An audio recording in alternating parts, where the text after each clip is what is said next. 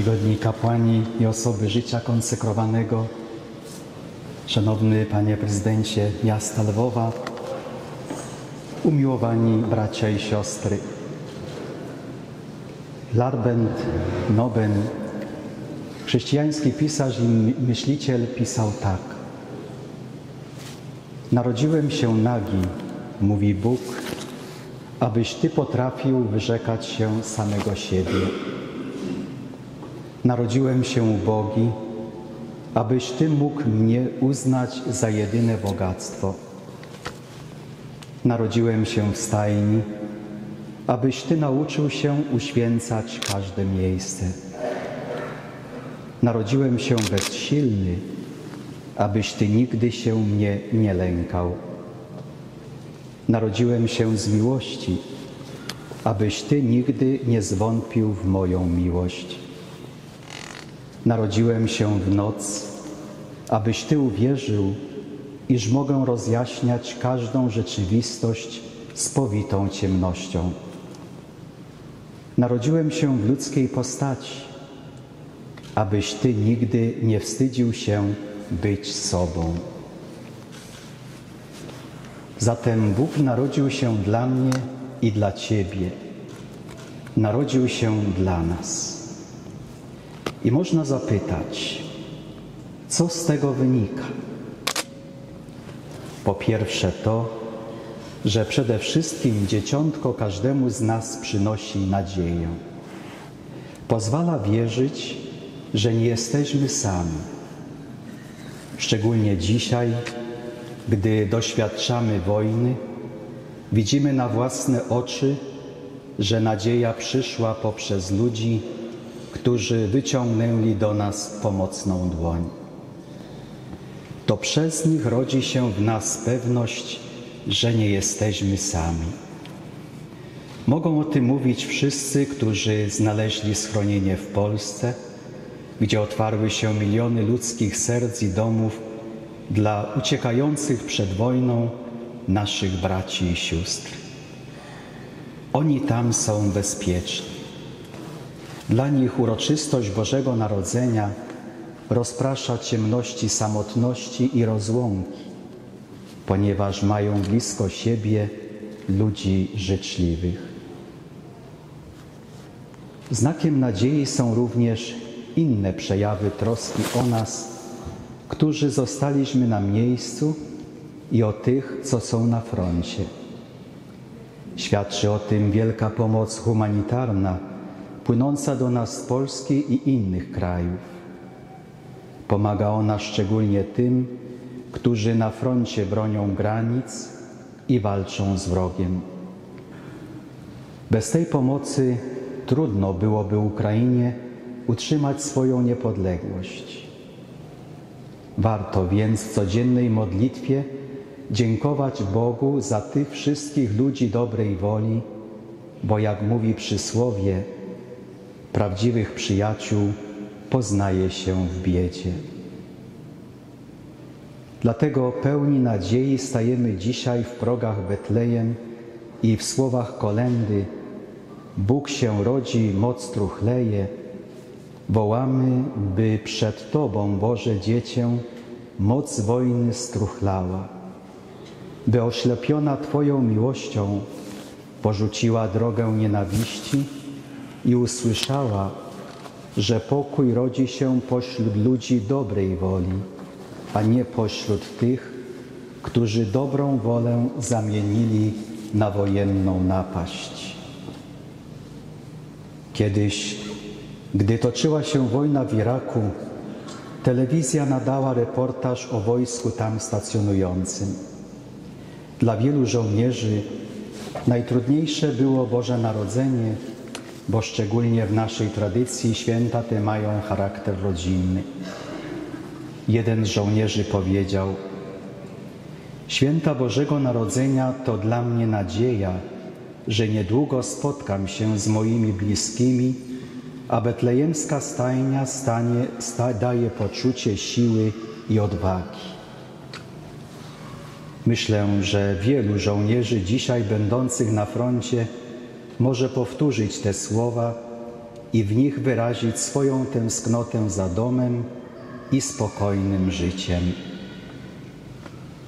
Lubi braty і сестри, дитятко Ісус, крім надії, приносить ще і мир, якого дуже потребує сучасний світ, особливо Україна. Під час триваючої війни він надзвичайно цінний і означає взаємне обдарування собою, обдарування любов'ю, зусиллями скерованими на взаємне розуміння.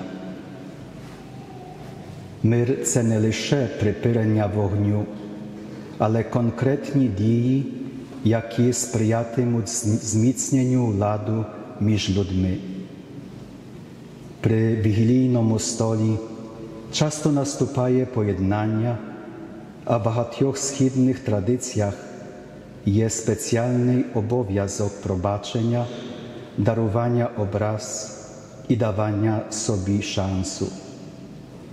Тому нам потрібно подбати про те, щоб в наших серцях і домівках запанував справжній тривалий, оснований на, проба... на пробаченні мир.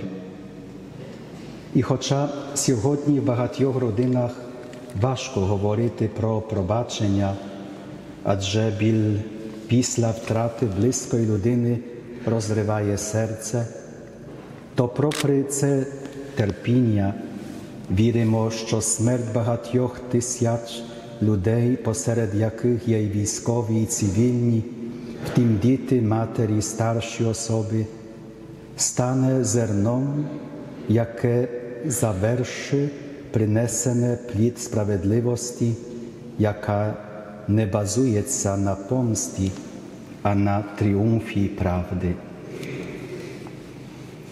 Тверді ясла, в які покладено Бога, пригадують сьогодні нам, можливо, як ніколи раніше, що існує душа, існує духовний світ і немає нічого ціннішого понад людську душу, адже для її порятунку Бог став людиною. Ці ясла є знаком найвищої любові, яка зобов'язує до взаємної любові, ясла, в яких покладано Христа, символізують терпеливість, лагідність, опанування, вбогість.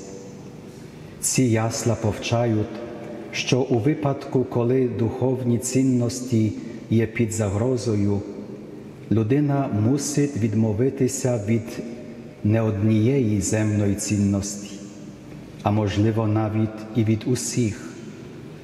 Приклад такої відмови для добра наших душ дає Ісус, про якого сьогодні в читанні говорить нам апостол. Видав себе самого, щоб викупити нас від усякого беззаконня. А коли йде мова про відкуплення, думаємо про хрест і смерть Христа. Наші уяві якось ясла не асоціюються з Христом, а Вифлеєм із Калварією. Проте жертва Господа розпочинається вже в моменті Його народження, а хрест є логічним наслідком ясел. Наша святкова радість є відкуплена жертвою Христа. Наша радість є натуральною, бо Різдво Господнє заповідає наше спасіння, але це спасіння звершується також на шляху наших жертв і трудів. Звернімо увагу, що сьогоднішнє слово пророка, який звіщає нам радість, не є позбавлене твердої реальності. Хлоп'ятко нам народилося, сина нам дано, влада на плечах у нього, і дадуть йому ім'я, чудесний порадник, сильний Бог, Отець довічний, князь миру, щоб збільшити владу в безконечній мирі на престолі Давида і в його царстві, щоб утвердити і укріпити справедливим судом віднині і повіки. Отже, не лише спів ангелів, радість і мир, але також право і справедливість становлять зміст сьогоднішньої таємниці. Бо якою була би ця радість, якби людина відкидала права, які встановлює Христос, коли би відверталася від цінностей, заради яких Бог став людиною? Чи для нас душа є найбільшою цінністю, заради якої ми були би готові пожертвувати нашими матеріальними досягненнями, нашим комфортом і задоволенням? Чи адоруючи дитятко Ісус, ми задумуємося над Його правами, над Його справедливістю і любов'ю?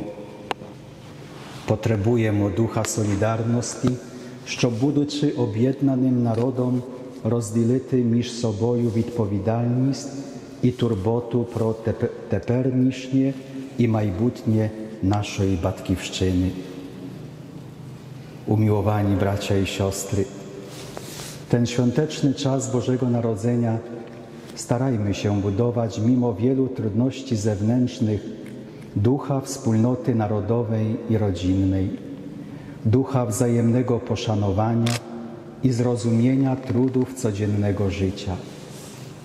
Ten święty czas razem ze świętym Janem Pawłem II módlmy się o owocne przeżycie tego okresu słowami. Bądź błogosławiony Ojcze, bo w swojej nieskończonej miłości dałeś nam jednorodzonego Syna swego, który za sprawą Ducha Świętego przyjął ciało w niepokalanym łonie Maryi Panny i dwa tysiące lat temu narodził się w Betlejem.